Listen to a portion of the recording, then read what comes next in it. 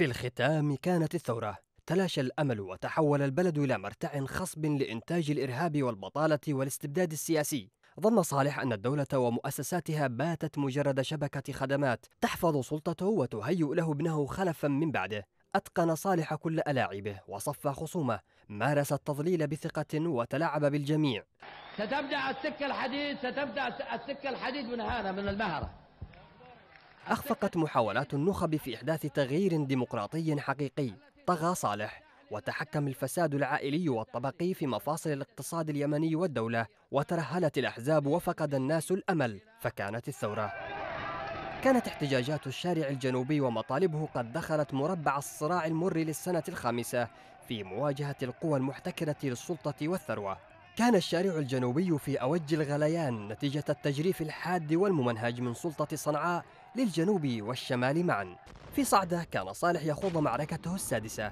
وكانت معارك صعدة تتراوح بين النصر والخسارة بحسب شروط لعبته هو. بدت لعبة الإرهاب الورقة الرابحة في إدارة ملف الحكم أمام اليمنيين والعالم. وبدأ أن البلد يوشك على السقوط في دائرة العنف والإرهاب. فكان فبراير. في تلك اللحظة التي شعر فيها النظام الحاكم أنه بات محصنا وعصيا على الاختراق تقاطر الناس كالجداول إلى مصب نهر الحرية العظيم ليشكلوا ذلك الزخم الحي والباعث في روح البلاد. اندفع الناس إلى الشوارع باحثين عن الخلاص في مشهد غير متوقع محاولة لخلق أمل جديد في العيش والديمقراطية والخلاص من النخبة المتحكمة. شهدت الساحات والشوارع في مدن اليمن الكبرى أملا جديدا بالتغيير. هتفوا بالسلمية ولها. لم تكن استجابة عفوية لنداء الربيع العربي الذي تخلق في تونس ومصر بقدر ما كان نداء للحرية وحاجة فرضها الغليان الشعبي المتراكم. في صنعاء كان الطلاب أول لبنة في مدماك الثورة وفي تعز تكونت أول ساحات الثورة ونصبت أولى خيامها.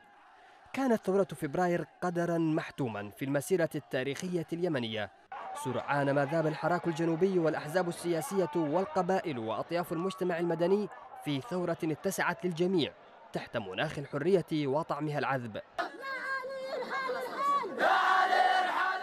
امتدت الثورة على خارطة الوطن لتنهي عهد صالح وثلاثة وثلاثين عاما من الفساد. ثورة فبراير السلمية كانت ولا تزال أعظم حدث في تاريخ اليمن الحديث تلك اللحظة التي هتف فيها الشباب.